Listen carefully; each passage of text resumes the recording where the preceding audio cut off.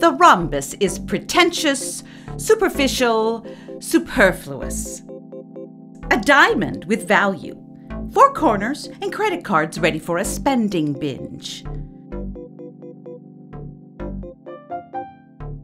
The rhombus likes her mom, the triangle, more than her four sided father, a symmetrical square. The triangle and the square have no chance of controlling this teenager of shapes. The rhombus acknowledges her brother, the circle, but she doesn't talk to him very much. He has his own problems.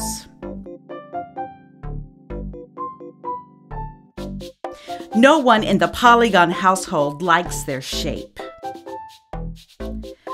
The triangle wishes she had the rhombus's figure. The square thinks if he was a rectangle in his youth, he could have bagged a rhombus. The circle is glad he's not a triangle, like his mom, because even the most masculine triangles are still mistaken for girls. But despite the fact that the circle covers a lot of surface area, he envies the rhombus. Perhaps he wishes he had an edge.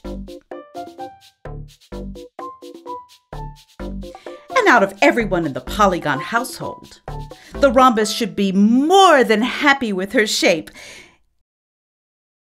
if it weren't for those fucking stars and cylinders.